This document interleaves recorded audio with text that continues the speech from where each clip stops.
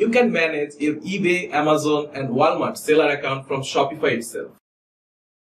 Hello ladies and gentlemen, hope you all are doing well.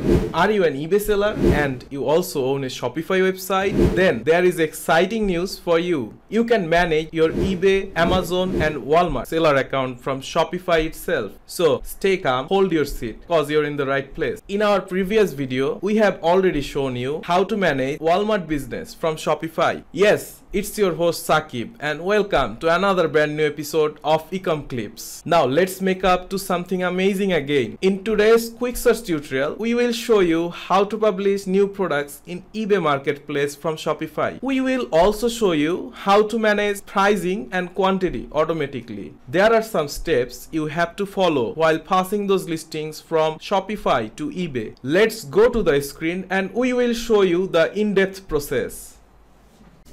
On our Shopify website, we already set up the eBay app. If you don't have one, just download the app from the store to install it. Also, you have to scan your eBay store with your Shopify website inside the eBay app settings.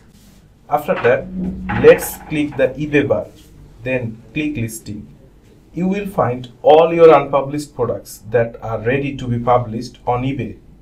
We will try to publish this item today so click on the item.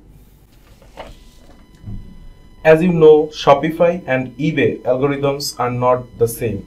So we should click custom eBay title, then click custom eBay descriptions. Now we can edit the title descriptions as they should be on eBay.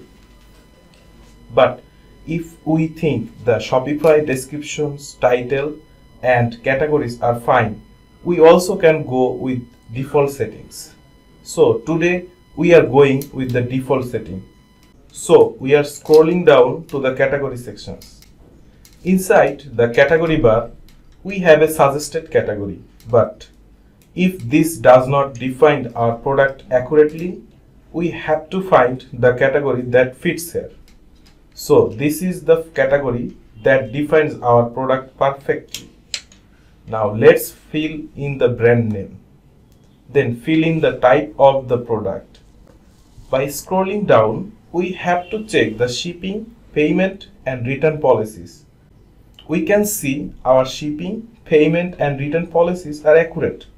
After that comes the image section. So the images are perfect as well. The important part is the inventory bar we are now giving the inventory of this product to one and the eBay price will be the same as your Shopify prices but you can use conditions on these terms. Everything looks great to us. We are scrolling up to click the save and publish. Now our listing is proceed to publish into our eBay account. It's very simple, isn't it? But you can't repass any of the items that are already published in eBay from Shopify. So, if you want to know how to manage an already passed listing or you want to know the listing customization process, please comment below. We can make a new video to solve this issue. Thank you so much for watching this video. If you feel our videos are helpful, give them a thumbs up. Subscribe to our channel because it's totally free for you. You can also check our website www ecomclips.com. That's all for today. See you in the next episode. A peace.